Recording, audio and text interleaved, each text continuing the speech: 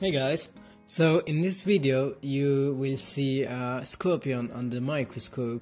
It's a scorpion found in North Italy and it's quite small, it's about 2.5 centimeters long and it isn't actually dangerous because it's so poisonous like a bee. Here you can see the sting. Here you can see the eyes. And this is the mouth.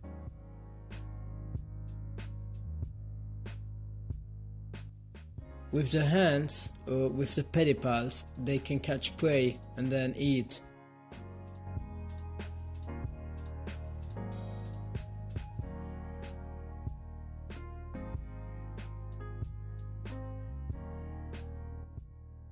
These are the legs, and those have two claws to climb.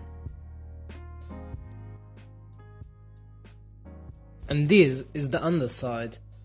You can see uh, the sting and uh, the legs and like this.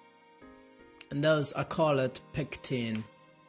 And with those he can feel vibrations of the ground and so he can he can understand if near him is prey or an enemy. With UV light, you can see very well scorpions at night because they are yellow.